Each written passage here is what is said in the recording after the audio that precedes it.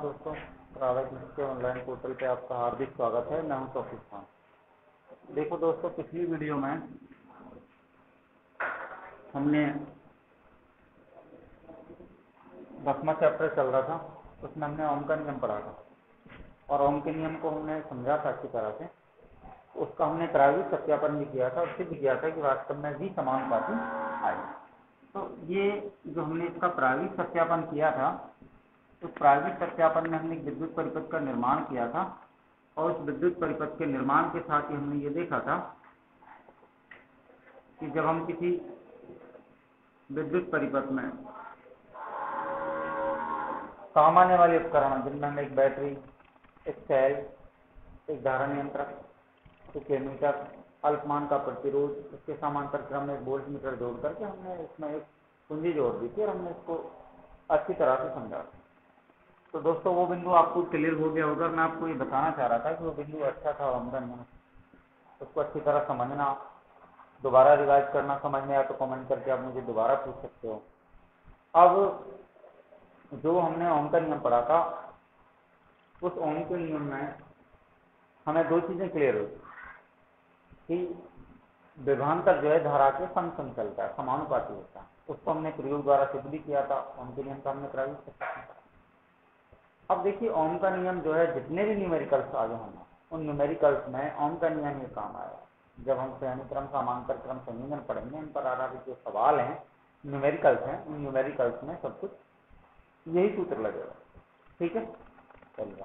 लेकिन देखिए, उससे पहले अब जो हमारे बिंदु रह गए हैं ना अब उन बिंदुओं को पहले हम पढ़ लेते हैं, जब न्यूमेरिकल आएँगे का जब देखा जाएगा। लेकिन ओम का नियम आपको स्पेशली याद रखना है, क्योंकि ओम का नियम वैसे भी अच्छा है इसके सूत्रों से ही समांतर क्रम श्रेणी क्रम संयोजन के जो बोर्ड के एग्ज़ाम में एग्ज़ाम में जो न्यूमेरिकल आते हैं, वो तो न्यूमेरिकल में उसी सूत्र से होगा ठीक है? बी समानुपात है वी बराबर आई आर जहाँ वी क्या है आई क्या है आर क्या है, आपको पता है वी विभांतर है आई विद्युत धारा है आर प्रतिरोध है। इनके मात्रक भी अलग अलग होते हैं। हमने विद्युत धारा का मात्रक पढ़ा एम्पियर होता है।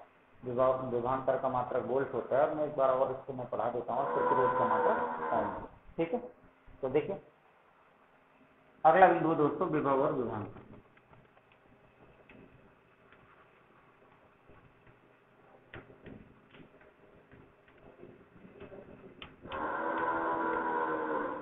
विभव और विभांतर देखिए, विभव और विभांतर क्या पहले अलग अलग पढ़ते हैं। विभांतर को देखिए। ये विभांतर क्या है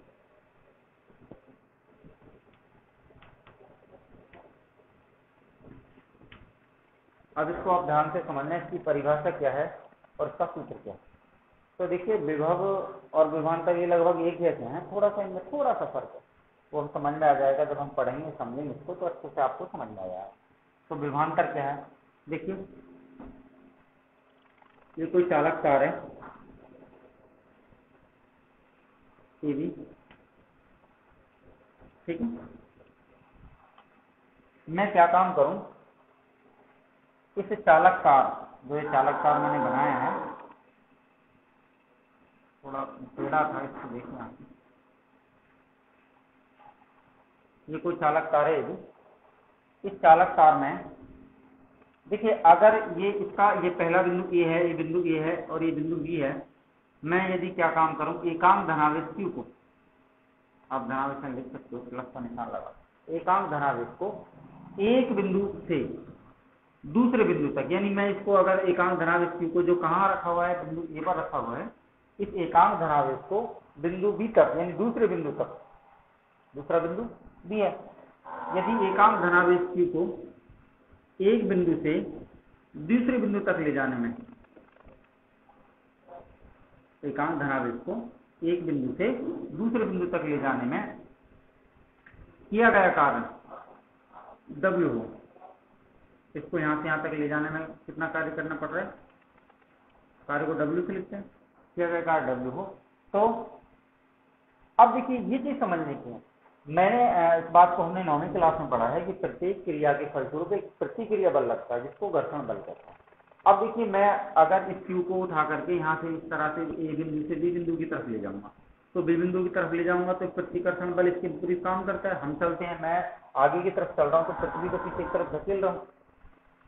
तो आपने इस बात को नौवीं क्लास में अच्छे से पढ़ा है कि प्रत्येक क्रिया के फलस्वरूप एक प्रतिक्रिया बल लगता है, जिससे घर्षण बल कहते हैं, प्रतिक्रिया बल होता है? क्या तो देखिए, यदि एकांक धनावेश को एक बिंदु से दूसरे बिंदु तक ले जाने में किया गया कार्य डब्ल्यू हो तो उसके सिरों पर। अब देखिए विभांतर जो है ना वी ये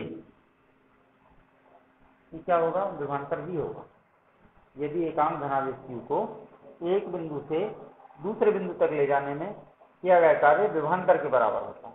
एकांक धनावेश को दोबारा सुनिए एकांक धनावेश को एक बिंदु से दूसरे बिंदु तक। अब देखिए, वैसे तो विद्युत क्षेत्र होता है। विद्युत क्षेत्र के बारे में आपको पता है कि विद्युत क्षेत्र पर, विद्युत क्षेत्र में जो एक बिंदु और ये जो दूसरा बिंदु भी। और इस बात को हम पहले से पढ़ चुके हैं कि अनंत पर विद्युत क्षेत्र का मान नगण्य होता है शून्य होता है।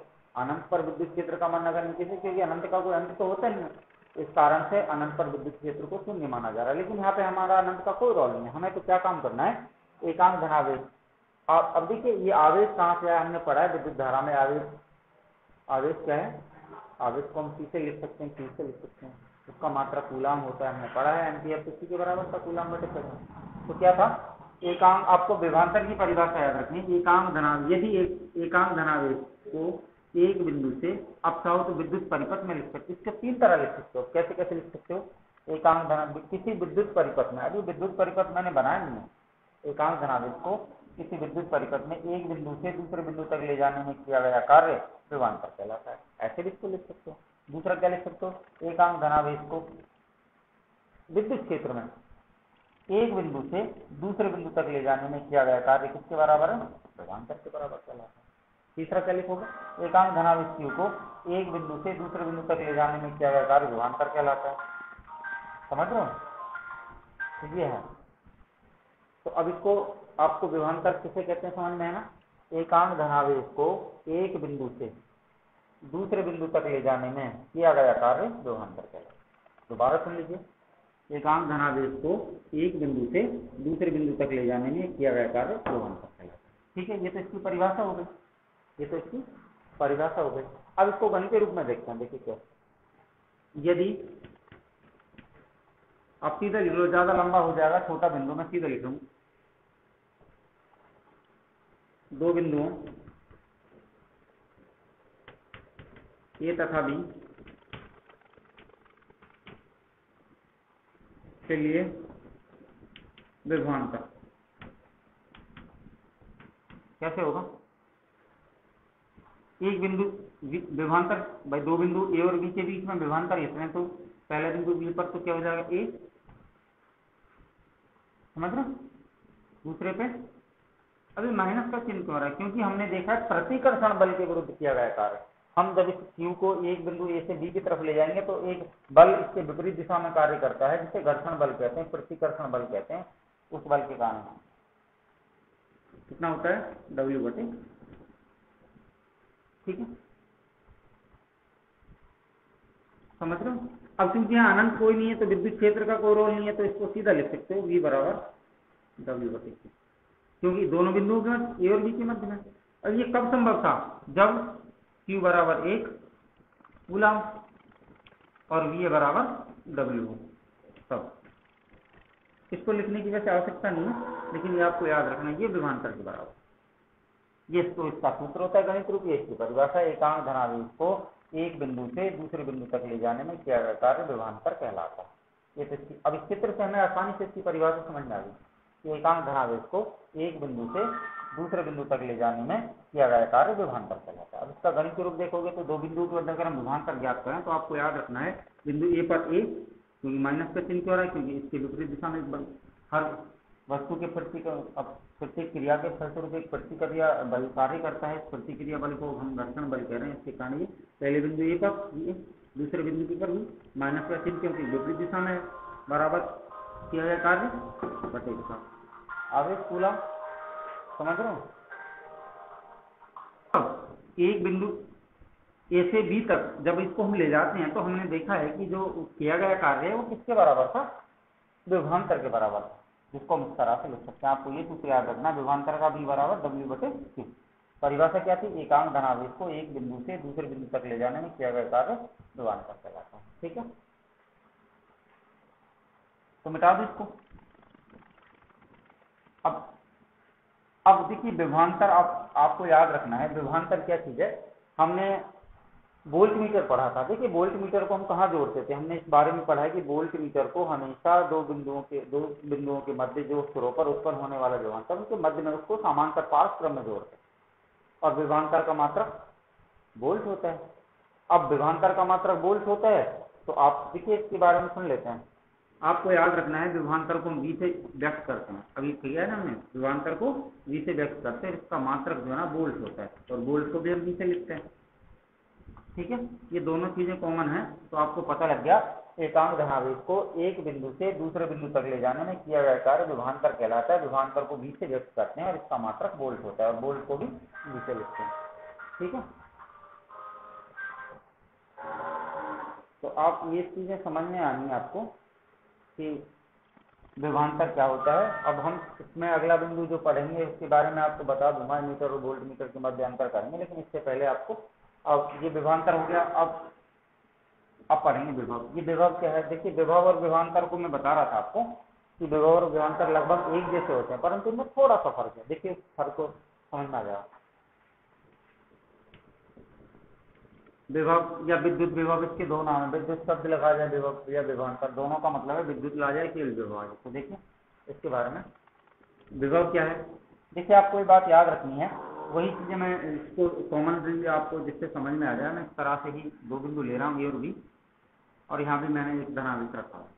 तो अब इसके बारे में क्या याद रखना? अब इसमें एक फ़र्क यह है कि ये हमने इसमें, उसमें क्या पढ़ा था? विभांतर में पढ़ा था। कि एकांक धनावेश को एक बिंदु से दूसरे बिंदु तक ले जाने में। किया गया कार्य तो विभांतर कहलाता है। लेकिन अब इसमें पहले बिंदु को ए, एक बिंदु का नहीं है यहाँ पे इसको अनंत मानना पड़ेगा। अनंत से। एकांक धनावेश को अनंत से। मैंने पहले बिंदु एक को अनंत मानना अनंत कहना पड़ेगा हमें। क्योंकि अनंत और इस बात को हम पढ़ चुके हैं नौवीं क्लास में अनंत पर विद्युत क्षेत्र का मान नगर नहीं होता है शून्य होता है। ठीक है? तो देखिए विद्युत विभव क्या है? एकांक धनावेश को अनंत से विद्युत क्षेत्र के किसी बिंदु, विद्युत क्षेत्र का कोई बिंदु क्या था? बी जो उसमें हमने क्या पढ़ा था? एक बिंदु से दूसरे बिंदु, अनंत से दूसरे बिंदु तक। तो ये आपको केवल एक शब्द अनंत का है, उसमें तो एक बिंदु से दूसरे बिंदु, इसमें अनंत से दूसरे बिंदु। तो क्या लिखना है? एकांक धनावेश को अनंत से दूसरे बिंदु। अब उसको आप विद्युत क्षेत्र में कोई बिंदु भी कह सकते हो या केवल आप दूसरा बिंदु कह सकते हो। तो एकांक धनावेश को अनंत से अनंत को क्या माना है पहले बिंदु ए को अनंत माना है। तो एकांत धनावेश को अनंत से दूसरे बिंदु तक ले जाने में। ठीक है? अब वही प्रतिकर्षण बल के विरुद्ध किया गया कार्य। क्या कहलाएगा? विभव कहलाएगा। ठीक है? तो आपको केवल एक बिंदु की जगह अनंत सब लिखना है कि एकांक धनावेश को अनंत से दूसरे बिंदु तक ले जाने में किया गया जो कार्य है, जिसको हम डब्ल्यू कह रहे हैं, क्या कहलाता है? विभव कहलाता है। ठीक है? तो अब इसमें से विभव और विवांतर की परिभाषा आपको क्या अंतर नज़र आ रहा है? केवल एक शब्द का अंतर आ रहा है। उसका का मतलब क्या था?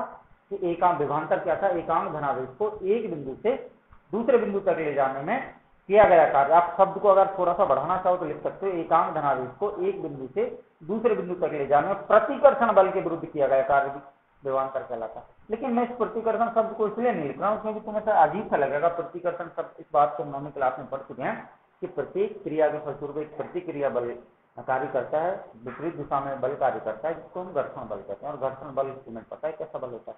तो अब ये जो हम, अब जब मैं इस एकांक धनाविष्टि को एक बिंदु यानी अनंत से दूसरे बिंदु तक ले जाऊँगा तो ये जब इसको इधर से ले जाऊँगा तो इसकी विपरीत दिशा में बल कार्य करेगा। इस बल को घर्षण बल या प्रतिकर्षण बल कहते हैं। ठीक है? तो ये बात आपको कॉमनली याद रखनी है। कि विभांतर में तो एक एकांक धनावेश को एक बिंदु से दूसरे बिंदु तक ले जाने में किया गया कार्य तो विभांतर था। इसमें एकांक धनावेश को अनंत से दूसरे बिंदु तक ले जाने में किया गया कार्य व्यवस्था था। ठीक है? इस शब्द का ही तो फ़र्क अनंत का। बाकी से है ना? के रूप देख लेते हैं।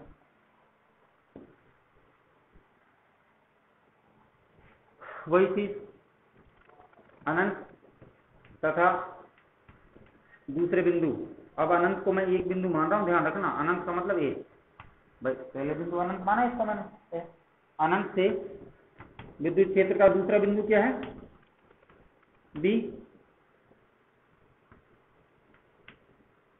पर विभव। कितना बैठता है? देखते हैं। वही बात V A minus V V बराबर डब्ल्यू बटे क्यू यही तो था उसमें निशान भाई, इसमें एक बिंदु को अनंत जिसको ये माना है दूसरे बिंदु बी है, विद्युत क्षेत्र में ये क्यू बटे डब्ल्यू बटे क्यू आगे अब देखिए एक बात इसमें मैं आपको बता चुका हूँ। क्या बता चुका हूँ कि अनंत पर विद्युत क्षेत्र का मान ज़ीरो होता है। तो अब पहला बिंदु, ये अनंत है ना, अनंत पर तो अब आपको यहाँ लिखिए, ना आप लिखना चाहो तो लिख सकते हो। हम जानते हैं, क्या जानते हैं कि अनंत पर विद्युत क्षेत्र का मान नगण्य होता है, शून्य होता है।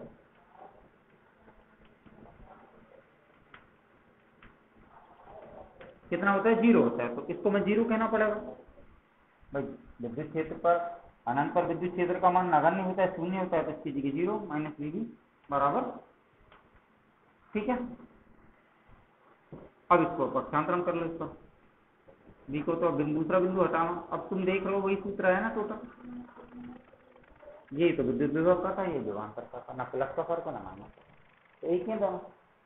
समझ लो अब इसकी एक चौथी परिभाषा मेरे पास और है, लेकिन आप उसको लिखना चाहो तो उसको भी आप लिख सकते हो। दोनों में को मैं दोनों की स्थिति बता रहा हूँ। एकांक धनावेश को अनंत से दूसरे बिंदु तक ले जाने में, दूसरे बिंदु तक ले जाने में त्वरित किए भी हो बिना।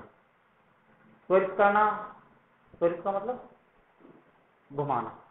त्वरित किए बिना किया कार्य भी को ऐसी विभांतर की सुनिए एकांक धनावेश को एक बिंदु से दूसरे बिंदु तक ले जाने में। अब बिना त्वरित किए हुए एक शब्द जो त्वरित शब्द आ रहा है, उसको भी आप इंक्लूड कर सकते हो या फिर लिख सकते हो कि एकांक धनावेश में एक बिंदु एकांक धनावेश को एक बिंदु से दूसरे बिंदु तक ले जाने में प्रतिकर्षण शब्द का उपयोग कर सकते हो। प्रतिकर्षण बल के विरुद्ध किया गया कार्य विभांतर कहलाता है। इसी प्रकार एकांक धनावेश को अनंत से विद्युत क्षेत्र के किसी बिंदु तक ले जाने में प्रतिकर्षण बल के विरुद्ध किया गया कार्य भी विभव कहलाता है। तो आप इनको जो से आपको सरल लगे, मैंने तीन तीन चर्चा इनकी परिभाषा बताई आपको सरल लगे वो लिख सकते हो। ठीक है? क्या जो स्टार्टिंग बताएँ वो लिख सकते हो। तो ठीक है विभव और विभांतर में दोनों का सेम सूत्र है, परिभाषा में सिर्फ़ अनंत शब्द का अंतर है। दोनों इक्वल है कॉमन है, और मैं बता चुका हूँ विभांतर को मापने वाला उपकरण वोल्ट मीटर होता है वोल्ट मीटर को वी से लिखते हैं। ठीक है? और विभांतर का जो मात्रक होता है वोल्ट उसको भी हम से चिन्हित या इंगित या प्रदर्शित या अंकित कर ठीक है? तो मेरे हिसाब से बेसिकली विभव और विभांतर आपको समझ में आ जाएगा अब देखिए, और मैं बता रहा हूँ उसको देखिए। और एक चीज़ मैंने देखी है, अब मेरे पास यहाँ बुक तो अवेलेबल है नहीं। उसमें न्यूमेरिकल ना अपने नौवे चैप्टर के जो न्यूमेरिकल थे, वो मेरे से पूछे हैं। अब दसवें पाठ में जो हमने पहला बिंदु, पहला, दूसरा, तीसरा जो भी बिंदु था, विद्युत धारा वाला, उस पर भी आधारित कई न्यूमेरिकल थे। वो भी आपने नहीं पूछे। तो उनको भाई, उसमें किताब को खोलो, मेरे पास तो किताब अवेलेबल है नहीं, उसमें न्यूमेरिकल दे रखे हैं, सवाल उनको कॉमेंट में मुझसे पूछ सकते हो। कि सर ये सवाल है, पेज नंबर बता सकते हो। पहली वीडियो मैंने आपसे पूछा, पेज नंबर इतने पे, वो, ये आंशिक प्रश्न है, या फिर उदाहरण है एग्ज़ाम्पल है, उनको आप पूछते क्यों नहीं? करो उनको, और जब तक उनको आप करोगे नहीं तो फिर कैसे काम चलेगा? और ये होंगे कब? जब हमारे जो बिंदु है कॉन्सेप्ट है क्लियर हो जाए तो उस पर आधारित दो तीन सवाल मेरे दिमाग में आए हैं, उनको मैं करवा रहा हूँ। देखिए, एक सवाल है।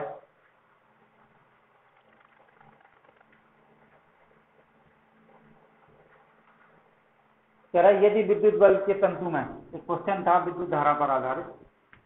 आप इसको एग्ज़ाम्पल भी कर सकते हो। मुझे ये ध्यान नहीं एग्ज़ाम्पल है, प्रश्न है, लेकिन ये दे रखा है। कह रहा है, यदि विद्युत बल्ब के तंतु में, अब सुन लो मैं लिखने तो देखिए, लिख देता हूँ। यदि विद्युत बल्ब के तंतु में।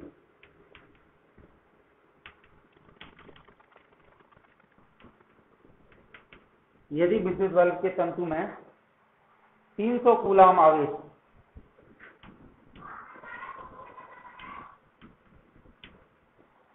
तीन सौ गुलाम आवेश पाँच मिनट तक प्रभावित होता है। समय कितना दे रखा है? पाँच मिनट। तक प्रवाहित होता है।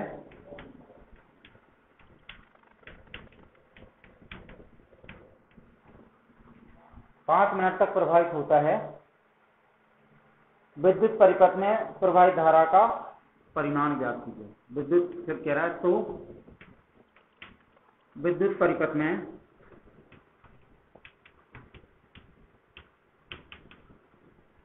प्रवाहित धारा धारा का परिमाण ज्ञात कीजिए।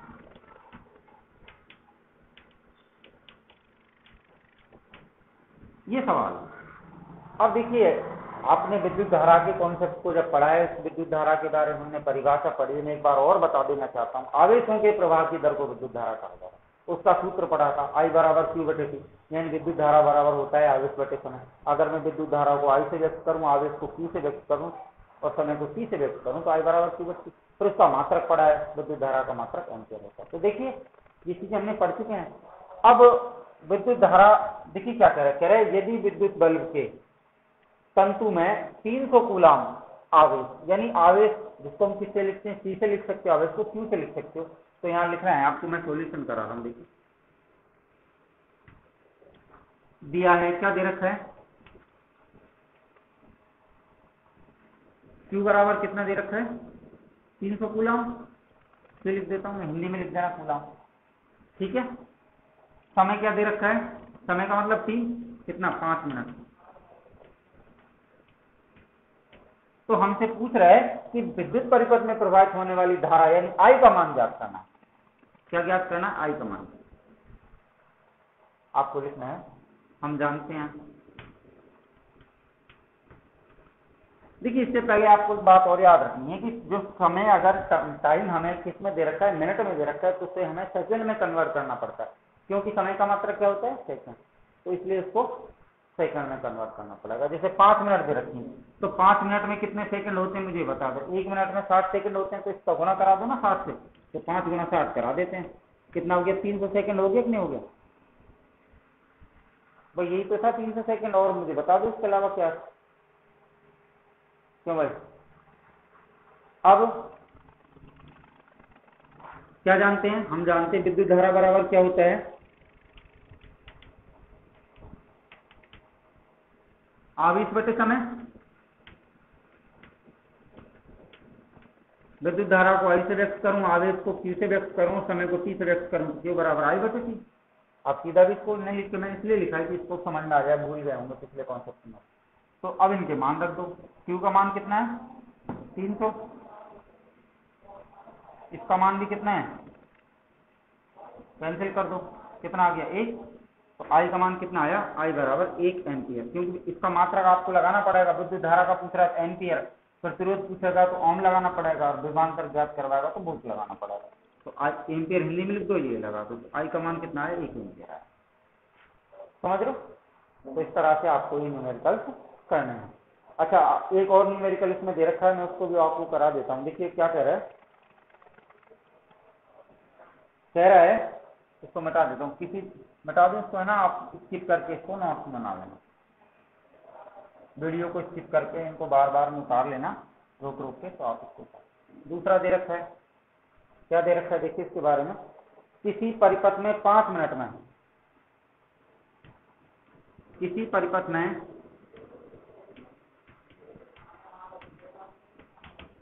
पाँच मिनट में हमसे क्या पूछ रहा पूछ रहे किसी परिपथ में पाँच मिनट में सात कूलाम आवेश प्रभावित होता है। सात कूलाम आवेश प्रभावित होता है।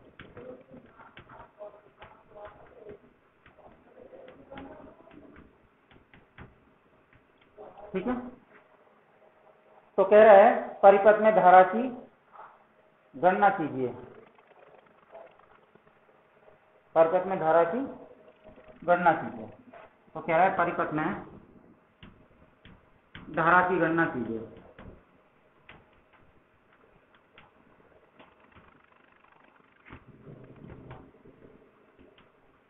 अब बताओ, वही वही चीज़, परिपथ में, देखिए वही बात सॉल्यूशन देखिए, इसका हल हम लोग कर रहे हैं ना? क्या दे रखा है? दिया है। टी कितना दे रखा है? पाँच मिनट और मैं आपको बता चुका हूँ कि जब समय मिनट में दे रखा हो तो उसको किसमें कन्वर्ट करना पड़ता है? सेकंड में। सेकंड में गुणा कराने के लिए साठ से तो तीन सौ। ठीक है? तीन सौ सेकेंड हो गया ना? तीन सौ सेकेंड हो गया। एस सी में आप हिंदी में लिखना चाहो तो हिंदी में लिख सकते हो। सेकंड नहीं, मैं एस सी सेकंड और क्या कह रहे हैं हमसे? कह रहे हैं कि इसका मान क्यू का मान कितना दे रखा है? साठ। अब इसका मान कितना दे रखा है? सात कूलम तो अब पूछ रहे हैं हमसे, परिपथ में धारा की गणना करना परिपथ में धारा की गणना कीजिए। तो वही सूत्र, आप चाहो तो उसको इस तरह लिखे क्यू बराबर आई टी ये भी एक सूत्र होता है। लेकिन ये मैंने बताया, वही चीज़ है। इसमें विद्युत धारा भी है, समय भी वही है। नहीं तो सीधा लिख दो, आपको इस तरह कंफ्यूज होता है। क्या? हम जानते हैं कि विद्युत धारा बराबर क्या होता है? विद्युत धारा बराबर होता है आई बराबर क्यू होते ठीक। है, इनके मान रख दो। क्यू का मान कितना है? सात। समय का मान कितना है? तीन। काट दो। एक ज़ीरो से एक ज़ीरो दी छः कम छः छः पंजे तीस। इसमें भाग दे दो भाग ना जाने की ज़ीरो। लगा, बढ़ा दी ज़ीरो पॉइंट वही, पाँच दूनी दस। ठीक है? ज़ीरो पॉइंट दो एम्पियर आ गई नहीं आ गई तो इस तरह से ये न्यूमेरिकल जो उसमें जब कॉन्सेप्ट के बाद में दे रखे होते हैं, किताब में, वो उनको आप मुझे अगर या तो खुद कर लिया करो, अगर कोई कंफ्यूजन हो तो मुझे कमेंट में करके बता देना। सर पेज नंबर इतने पे, इतना एग्ज़ाम्पल और आंकित करते हैं वो हमसे नहीं हो रहा, हो जाए तो कोई बात नहीं तो ये आपको करने ज़रूरी है। समझ रहे ठीक है।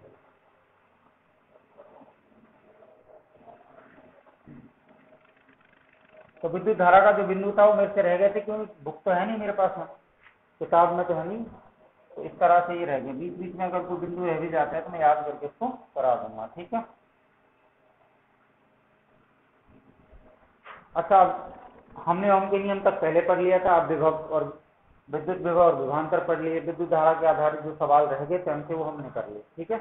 अब देखिए एक चीज़ थी, हमने जब विद्युत धारा ओम के नियम का प्रायोगिक सत्यापन किया था, ओम के नियम को जब हमने पढ़ा था तो ओम के नियम को जब हमने पढ़ा था तो ओम के नियम में हमने क्या देखा था? ओम के नियम में हमने देखा था कि विद्युत परिपथ का निर्माण करते हैं, उसके प्रायोगिक सत्यापन में। उसमें हमने एक एमीटर जोड़ा था एक वोल्ट मीटर जोड़ा था। अब ये एमीटर और वोल्ट मीटर क्या है? पहले इनके बारे में आप थोड़ा सा समझ लो। वैसे मैं आपको बता दिया था मैंने कि एमीटर एक ऐसा उपकरण है जिससे विद्युत धारा का मान ज्ञात किया जाता है। एमीटर की बात कर रहा हूँ। और इसका, देखिए मीटर जो बाइक का मीटर होता है ना मोटरसाइकिल में जब आप एक्सीटर लेते हो तो सुनिए चलती है। ऐसे मीटर होते हैं वोल्ट मीटर एमीटर परंतु विद्युत परिपथ में इसको हम कैसे जोड़ते हैं, मैं आपको बता दिया था उस दिन संकेतों के रूप में। तो वो कह रहा है कि एमीटर और वोल्ट मीटर क्या है? इनमें आप अंतर बता दो। ये प्रश्न बीच में से बनता है। कि जब आपने ओम के नियम का प्रायोगिक सत्यापन किया था तो उसमें प्रायोगिक सत्यापन के साथ हमने उसमें बैटरी, एक धारा नियंत्रक एक एमीटर एक वोल्ट मीटर अल्पमान के प्रतिरोध के समांतर क्रम एक वोल्ट मीटर जोड़ा था, एक कुंजी जोड़ करके हमने विद्युत परिपथ किया था, बनावट उसकी हमने की थी। तो अब ये एमीटर वोल्ट मीटर क्या है? देखिए, एक अलग से पूछ ले एमीटर वोल्ट मीटर क्या है? मैं अंतर लिखे तो मैं आपको बता देता हूँ एमीटर क्या होता है? Volt meter. देखिए एमीटर भी ऐसा ही होता है, मैं आपको उस दिन बताया तो था, आपको इस तरह से आप चित्र में वीडियो में देख सकते हो। यहाँ जैसे लिखा होता है, ज़ीरो यहाँ पे ठीक है? ज़ीरो, यहाँ इस तरह से दस, यहाँ बीस, यहाँ तीस, यहाँ चालीस, इस तरह से यहाँ पचास, इस तरह का मीटर तो देखा है बाइक का होता है जो, ऐसे होते ही हैं इस तरह का मीटर होता है, ऐसे वोल्ट मीटर होता है, परंतु विद्युत परिपथ में हम इनको कैसे जोड़ते थे? ई मीटर को इस तरह से जोड़ते थे। ये प्लस ये माइनस ये हमेशा श्रेणी क्रम में जुड़ता था। अब ये श्रेणी क्रम समांतर क्रम क्या है? इनको हम बाद में पढ़ेंगे। और वोल्ट मीटर को इस तरह से जोड़ते थे, ये प्लस ये माइनस लेकिन ये हमेशा समांतर क्रम में जुड़ता है। दो बिंदुओं के मध्य विभांतर ज्ञात करने को हमेशा समांतर क्रम में जोड़ते अब एमीटर क्या था? एमीटर के बारे में पढ़ा था एमीटर एक ऐसा उपकरण है, ऐसा यंत्र है, ऐसा साधन है, जिसके द्वारा विद्युत धारा के मान को ज्ञात किया जाता है, विद्युत धारा के मान को मापा जाता है। वोल्ट मीटर क्या है? वोल्ट मीटर के बारे में आपको लिखना है एक ऐसा उपकरण है जो क्या काम करता है? दो बिंदुओं के मध्य विभांतर को बतलाता है, ज्ञात तो आपको समझ में है ना वोल्ट मीटर एमीटर क्या है? लिख लो एमीटर एक ऐसा उपकरण है जिसके द्वारा विद्युत धारा के मान को ज्ञात किया जाता है। वोल्ट मीटर क्या है? एक ऐसा उपकरण है जिसके द्वारा दो बिंदुओं के मध्य विभांतर ज्ञात किया जाता है। तो अगर अब तुमसे ये पूछे कि विद्युत विभव के अलावा जो हमने बिंदु पढ़ा है, अब देखिए, इसको मैं एक बार कर लेता हूँ।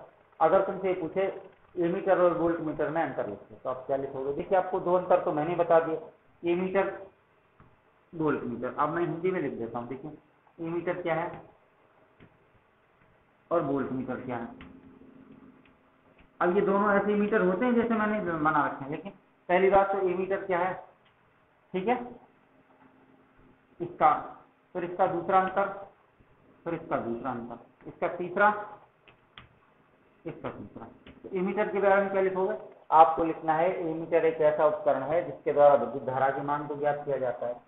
फिर वोल्ट मीटर में क्या लिखोगे ऐसा उपकरण है जिसके द्वारा विभांतर के मान को मापा जाता। है दो बिंदुओं के मध्य आप लिखना चाहो तो लिख दो ना लिखो तो भी कोई दिक्कत नहीं। दूसरी बात एमीटर को हमेशा विद्युत परिपथ में श्रेणी क्रम में जोड़ा जाता है, इसको हमेशा समांतर क्रम में या पार्श्व क्रम में जोड़ा जाता है।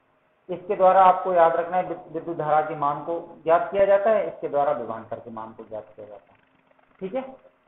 तो ये तीन अंतर तो आपको कम से कम याद रखना है। तो एमीटर क्या है वोल्ट मीटर क्या है? आपको ये बात समझ में आ गई ठीक है?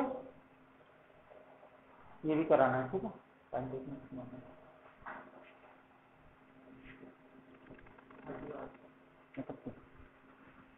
तो ठीक है दोस्तों, इनको आप लिख लेना स्किप करके और बस मुझे बता देना, जैसा भी कुछ हो। उसके बाद में जो है, अब तुम्हें ये सारे बिंदु आई विल होप कि कॉन्सेप्ट क्लियर हो गए होंगे। फिर भी कोई दिक्कत हो तो आप मुझे कमेंट करके पूछ सकते हो। अगले वीडियो में नया बिंदु लेके आ you